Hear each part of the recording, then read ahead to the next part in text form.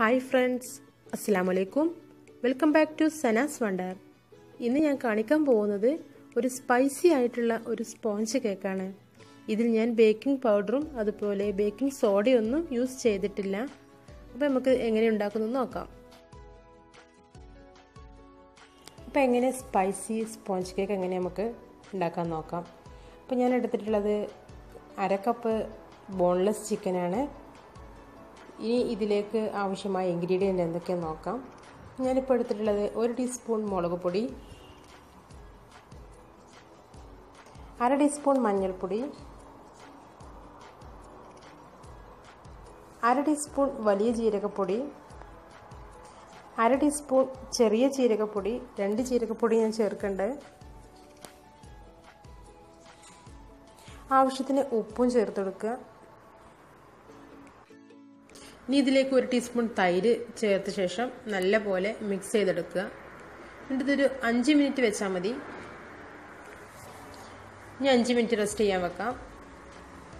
അതിനുശേഷം നമുക്ക് ചൂടായ പാനിലേക്ക് ഓയിൽ ഒഴിച്ചതിന് ശേഷം നമുക്കതൊന്ന് ജസ്റ്റ് ഒന്ന് ഫ്രൈ ചെയ്തെടുക്കാം.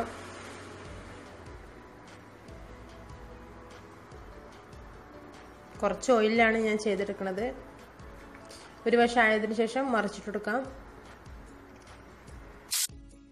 അങ്ങനെ ചിക്കൻ ഏകദേശം കുക്കായി വന്നിട്ടുണ്ട്. ഇനി മറ്റൊരു പാത്രത്തിലേക്ക് മാറ്റാം.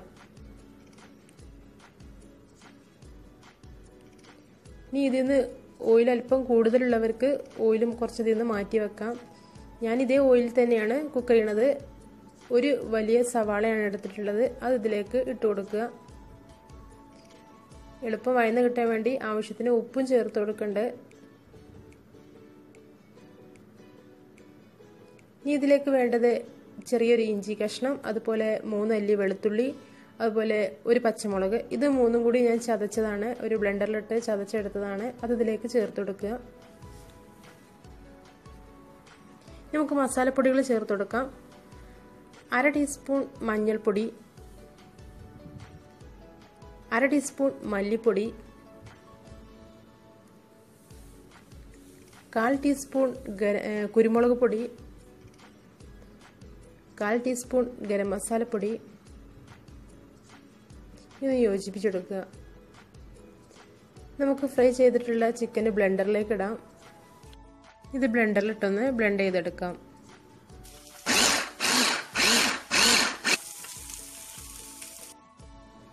ഇനി നമുക്ക് ഈ മസാലയിലേക്ക് ചിക്കന്റെ ഈ മിക്സ് ചേർത്ത് കൊടുക്കുക. എന്നിട്ട് നല്ല പോലെ യോജിപ്പിച്ചെടുക്കുക.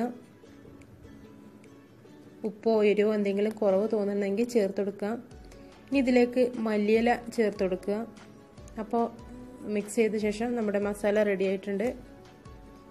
ഇനി നമുക്ക് കേക്കിന്റെ മിക്സ് ഉണ്ടാക്കാൻ വേണ്ടിയിട്ട് അഞ്ച് മുട്ടയാണ് ഞാൻ എടുത്തിട്ടുള്ളത്.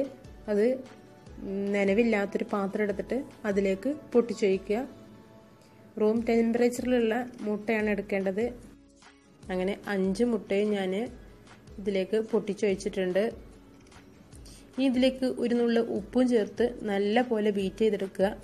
ബീറ്ററിലാണ് ഇത് ചെയ്യേണ്ടത്. ഇനി ഇല്ലാത്തവർ മിക്സി വെച്ച് ചെയ്യുക പക്ഷെ എത്രത്തോളം ഫ്ലഫി ആവില്ല കേക്ക് അപ്പോൾ കഴിയണതും ബീറ്റർ ഉപയോഗിച്ച് തന്നെ ചെയ്യാൻ നോക്കുക. നല്ല പോലെ ഫ്ലഫി ആക്കിയെടുക്കുക. ഇനി ഇതിലേക്ക് മുക്കാൽ കപ്പ് മൈദപ്പൊടിയാണ് ഞാൻ ചേർക്കുന്നത്. ഓൾ പർപ്പസ് ഫ്ലോർ ഇത് നമുക്ക് മറ്റൊരു പാത്രത്തിലേക്ക് അരിച്ച് മാറ്റാം. ഈ സമയത്ത് വേണമെങ്കിൽ നിങ്ങൾക്ക് കാൽ ടീസ്പൂൺ ബേക്കിംഗ് സോഡയും അര ടീസ്പൂൺ ബേക്കിംഗ് പൗഡറും ചേർത്ത് കൊടുത്താൽ കേക്ക് ഒന്നുകൂടി സ്പോഞ്ചി ആവും. ഞാനിപ്പോൾ അത് ചേർക്കണില്ല. വെറും മൈദപ്പൊടി മാത്രമേ ചേർക്കുന്നുള്ളൂ. ഈ നമ്മുടെ മുട്ടയുടെ മിക്സിലേക്ക് കുറേശ്ശെയായിട്ട് മൈദപ്പൊടി ചേർത്ത് കൊടുക്കുക. അരിച്ചു വെച്ച മൈദപ്പൊടിയാണ് ചേർക്കുന്നത് ഇനി നല്ലപോലെ യോജിപ്പിച്ച് എടുക്കുക. അങ്ങനെ എല്ലാ മൈദപ്പൊടിയും ഇതിലേക്കിട്ട് ബാറ്റർ തിക്കാക്കി എടുക്കുക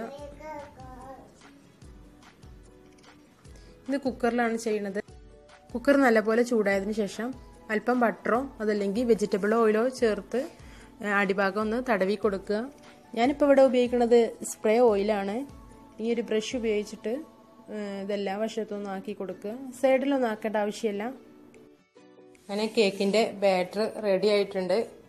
മൈദപ്പൊടി എല്ലാം യോജിപ്പിച്ച് കറക്റ്റായിട്ടുണ്ട് ഇനി ഇത് ചൂടായ കുക്കറിലേക്ക് എണ്ണ പുരട്ടിയ കുക്കറാണ് അതിലേക്ക് കുറേശ്ശെയായിട്ട് ബാറ്റർ ചേർത്ത് കൊടുക്കുക ഇനി ഒരു സ്പാച്ചുലോ അല്ലെങ്കിൽ ഒരു സ്പൂണോ ഉപയോഗിച്ചിട്ട് നമുക്ക് ഈ ഒഴിച്ച ബാറ്റർ എല്ലാ വശവും പരത്തി കൊടുക്കുക. ഇനി ഇതിന്റെ മുകളിലേക്കാണ് ചിക്കന്റെ ഈ മിക്സ് ചേർത്ത് കൊടുക്കേണ്ടത്. കഴിയുന്നതും സെന്ററിലാക്കാൻ നോക്കുക. അല്ലെങ്കിൽ കേക്ക് കുക്കായി വരുമ്പോൾ അടർന്നു പോരാൻ സാധ്യതയുണ്ട്. അപ്പോൾ സെറ്റായി കിട്ടാൻ വേണ്ടിയിട്ടാണ് മിക്സ് സെന്ററിലാക്കാൻ പറയുന്നത്. ഇനി ഇതിന്റെ മുകളിലോട്ടായിട്ട് വീണ്ടും നമ്മുടെ കേക്കിന്റെ ബാറ്റർ ഒഴിച്ചു കൊടുക്കുക. അങ്ങനെ രണ്ട് ലെയറായിട്ടാണ് ഇപ്പം ഞാനത് വേവിക്കുന്നത്. ഇനി ഇതിന്റെ മുകളിലേക്ക് വീണ്ടും ഇതുപോലെ മസാല ഇട്ട് കൊടുക്കുക. വീണ്ടും ബാറ്റർ ഒഴിച്ചെടുക്കുക. ഇനി കുക്കർ അടച്ചു വെച്ച് ഒരു അഞ്ച് മിനിറ്റ് ഒന്ന് വേവിക്കുക. അഞ്ച് മിനിറ്റിന് ശേഷം നമുക്ക് കുക്കർ തുറന്ന് അപ്പോൾ കുറച്ചൊന്ന് പൊങ്ങിയിട്ടുണ്ടാവും. നമുക്ക് ഇതിലേക്ക് വെജിറ്റബിൾസ് ഡിസൈൻ ചെയ്യാം. നിങ്ങൾ നിങ്ങൾക്ക് ഏത് വെജിറ്റബിൾസ് ആണ് നിങ്ങളുടെ കയ്യിലുള്ളത് അത് വെച്ച് ഡിസൈൻ ചെയ്യാം. ഞാനിപ്പോൾ ക്യാപ്സിക്കും അതേപോലെ ടൊമാറ്റോ ആണ് എന്റെ കയ്യിലുള്ളത്. അത് വെച്ചിട്ടാണ് ഡിസൈൻ ചെയ്യുന്നത്. ക്യാരറ്റ് കുക്കുംബർ ഇതൊക്കെ വെച്ച് ചെയ്യാവുന്നതാണ്.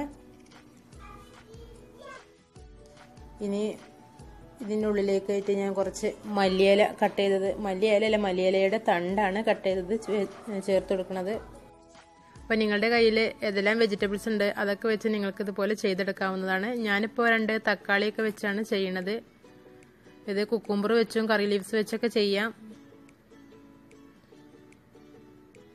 ഇനി കുക്കർ അടച്ചു വെച്ചിട്ട് നമുക്ക് ലോ ഫ്ലെയിമിൽ ഒരു മുപ്പത്തഞ്ച് മിനിറ്റാണ് കുക്ക് ചെയ്യേണ്ടത്. മുപ്പത് മിനിറ്റിന് ശേഷം തന്നെ നിങ്ങൾ കുക്കർ തുറന്നു നോക്കുക. വെന്തിട്ടില്ലെങ്കിൽ ഒരു അഞ്ച് മിനിറ്റും കൂടെ വേവിക്കുക. അങ്ങനെ നമ്മുടെ കേക്ക് കുക്കായി വന്നിട്ടുണ്ട്. ഇനി ഇതൊരു സെർവിങ് പ്ലേറ്റിലേക്ക് മാറ്റാം. അപ്പോൾ സ്പൈസി സ്പോഞ്ച് കേക്ക് നിങ്ങളെല്ലാവരും ട്രൈ ചെയ്ത് നോക്കണം. ഈ വീഡിയോ നിങ്ങൾക്ക് ഇഷ്ടമായെങ്കിൽ സബ്സ്ക്രൈബ് ചെയ്യാൻ മറക്കരുത് ലൈക്ക് ചെയ്യുക ഷെയർ ചെയ്യുക. അപ്പോൾ വീണ്ടും പുതിയ വിഭവങ്ങളുമായിട്ട് സനാസ് വണ്ടറിലൂടെ വീണ്ടും കാണാം. അതുവരേക്കും മാ സലാമ.